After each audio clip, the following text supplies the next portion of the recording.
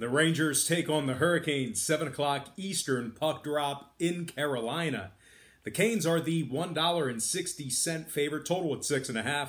We did see a 10 cent fade of Carolina in the early wagering as they open a buck 70 down to minus 160. Total open M remains at 6.5. 54% of the consensus are leaning toward the Hurricanes, 71% shaded toward the under. Right now, the Rangers are plus a buck 40 on the road here. Carolina plus a buck 55, laying the goal and a half. We have Petr Mrazek for the Canes, Igor Shesterkin for the Rangers.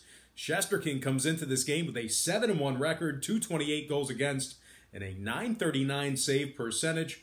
The uh, Rangers winners of five out of their last six games. They've also gone 19 and 9 against the spread on the road. And of course, when I refer to the spread in the NHL, I'm referring to the puck line. So once again, doing a very good job covering that number. 19 and 9 ATS when traveling. The Rangers rank in the top 10 in scoring on average per game. They're also 8 and 2 straight up in their last 10 head-to-head matchups with the Hurricanes. Art Panarin 30 points, 49 assists. He is plus 30 on the season. Mika Zibanejad, 26 goals, 30 assists for him. And Chris Kreider, 24 goals, 45 points. Kreider is plus 10 when he is on the ice. We're looking at a New York squad who ranks in the top 10 in road scoring as well. Now, Carolina on the other side, although they're having a very solid season, they look great in certain spots. Um, not so good against the puck line at home. And as a matter of fact, out of their 30 home games this year, They've covered the puck line in just 13 of them. They've also, like I said earlier, lost eight out of their last 10 head to head matchups with the Rangers. Now, the Rangers are 5 and 2 to the under in their last seven. A lot of unders for these Rangers as of late. I'm going to lean toward New York plus 1.5 and the under 6.5 goals in that game. And before we go ahead and move on, just want to take a quick timeout and welcome you to the show. Got some lines and personal leans out for Friday's NHL action. Happy Friday to you. The weekend is finally here. Thank God it's Friday. I, I am ready for it. I'm ready for today. I'm ready for now. But uh, anyway, guys, before we go ahead and move on, just got to quickly remind you once again to uh, you know at least consider checking me out on my website at patreon.com slash brock page where i do daily premium sports picks on that website beginning at just $1.99 through the end of the month now, we had four premium picks in play yesterday. We won three of them. Three and one yesterday on a Thursday, good for 75%. That's going to improve our record to 5 and 0 in our last five crowd pleaser teasers. And I know that uh, you know I'm lighthearted. Sometimes I joke around on the channel a little bit, uh, but there's no joke about that. That is dead serious. Uh, five and zero oh, straight up in our last five crowd pleaser teasers.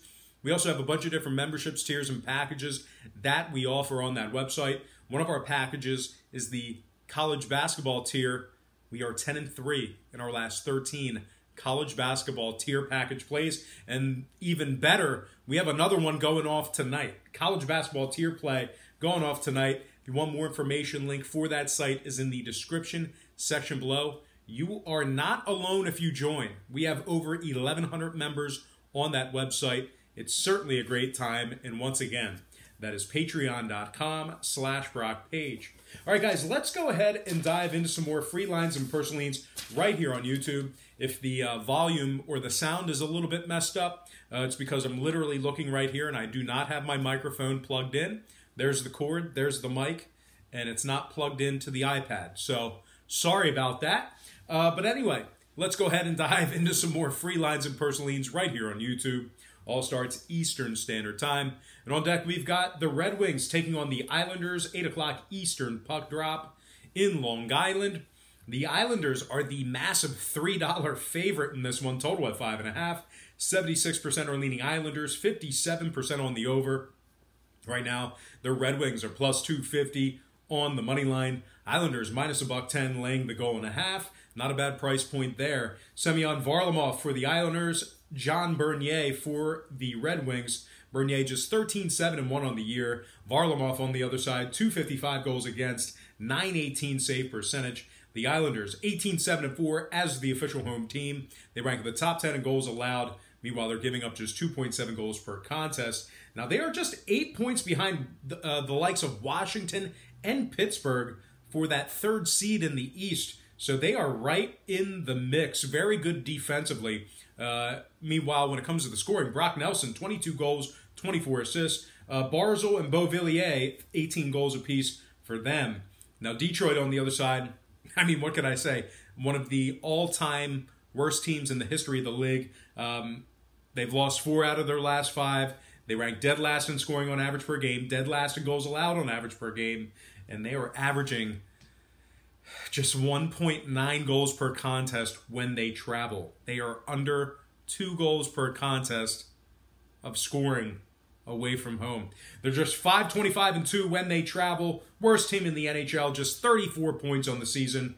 And here's how here's like the just the difference between them and the rest of the pack. Detroit's at 34 points. The next worst team, that's the Kings. Detroit is 15 points behind the Kings. The Kings have 49 points on the season. Detroit just 34. So they are literally 15 points behind the second to worst team in the NHL. That is terrible. Now Detroit 7-2 and 1 to the under in their last 10, 21 and 11 to the under when they travel. Meanwhile, New York 4 0 to the over. Uh, I'm sorry, scratch that 4 0 to the under in their last four themselves. I'm going to go ahead and lean Islanders minus one and a half and the under five and a half in that contest. I always joke around about like my CTE, which I legitimately think I have because I played football from the time I was eight up until I was 22 years old, and uh, I, I mix things up. I mix things up. I say under when I should say over sometimes. Today, earlier in the NBA uh, the NBA video, uh, I said that Denver was in second place in the Eastern Conference, right behind the Lakers, the Los Angeles Lakers. I mean, just ridiculous. So, guys, sometimes if it, uh, I don't make mistakes often, but if it doesn't sound right, most likely it isn't right. And all you have to do is just comment in the uh, comment section below so we can uh, clarify. But anyway, next game, it is going to be Blues taking on the Stars, 8.30 Dallas. The Stars are minus 140, totals 5.5. We saw a nickel move toward Dallas in the early wagering. They open a buck 35 up to minus 140, totals 5.5. 53% are leaning Dallas, 64% on the over. And right now, St. Louis is plus a buck 20 on the money line, Dallas plus $2 on the puck line. We have Ben Bishop for the Stars, Jake Allen for the Blues. Dallas top three in goals allowed at home, top 10 in offensive shots at home. They are 18 9 and 2 when they are in the friendly confines. Now, St. Louis on the other side, losers of five out of their last seven. They've also gone just three and seven straight up in their last 10. They rank in the bottom 10 in offensive shots on average per game. Now, three out of St. Louis's last three games stayed under the total. Meanwhile, Dallas 22 and 7 to the under on their home ice. I'm going to lean Dallas minus 140 and the under five and a half in that contest. Next game, Predators, Blackhawks, 8:30 Chicago. The Preds are minus 125, total six and a half. Nickel fade of Nashville. They open a buck 30 down to 125, total six and a half. 62% are leaning Nashville, 69% on the under. Chicago's plus a buck 05 on the money line, Nashville plus 210 on the puck line. Rinne for the Preds, Lehner for the Blackhawks. Robbie Lehner comes into this game with a 301 goals against. Chicago losers of seven out of their last eight. They also rank in the bottom 10 in home scoring, bottom three in shots allowed. The Preds on the other side, winners of three out of their last four. They also rank the top five in offensive shots, top three in road scoring. Now, total wise, Nashville 20 and 10 to the over when they travel. Chicago 4 and 2 to the over in their last six themselves. I'm going to lean Predators minus a buck and a quarter in the over, six and a half in that contest. Next game, Bruins, Flames, 9 o'clock, Calgary.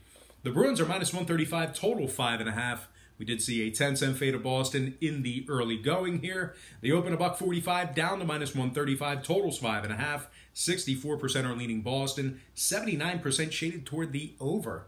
Right now, Calgary plus a buck 15 on the money line, Boston plus a buck 80 on the puck line. Boston winners of nine out of their last 10. They currently have the most points in the NHL, 88 total points for this Bruins squad. They're 38, 11, and 12 on the year. Meanwhile, Calgary on the other side really struggling to cover that puck line at home. Just 8 and 20 um, 8 and 21 against the spread at home. So once again, out of their 29 home games, they've successfully covered the puck line in just eight of them. They also rank in the bottom three in goals allowed at home. Now Calgary is 6 and 0 to the over in their last six. A lot of exciting games for them as of late. They're also 18 and 11 to the over on their home ice. I like the road team in this one. Give me Boston minus $1.35 and the over 5.5 in that contest. Next contest Wild Oilers, 9 o'clock Edmonton. The Oilers open a buck 10 up to minus 115. Total open 6 flat, down the 5.5. 72% are leaning Oilers, 78% on the over. Minnesota's minus 105 on the money line. Edmonton 4 and 2 straight up in their last six, 15 9 and 5 at home. Meanwhile, the Wild, bottom 5 in offensive shots, bottom 5 in goals allowed on the road. Two out of Minnesota's last three got over the number. They're also 16 and 12 to the over when they travel. Meanwhile, Edmonton 19 and 10 to the over on their home ice. Give me the Oilers minus a buck 15 and the over five and a half in that game. Next and final contest: Colorado Anaheim 10 o'clock Eastern puck drop at the pond. Colorado's minus 160 on the road, total six flat. Avalanche top three in scoring in this NHL. I like Colorado minus a buck 60 and the over six goals in that game. All right, guys, that's going to do it for me. I got to thank you for joining me right here on YouTube. I really hope you enjoyed all this great free content, all this great free information. Happy Friday to you. Best of luck to you. And I look forward to seeing you later on today on my website at patreon.com slash Brock Page.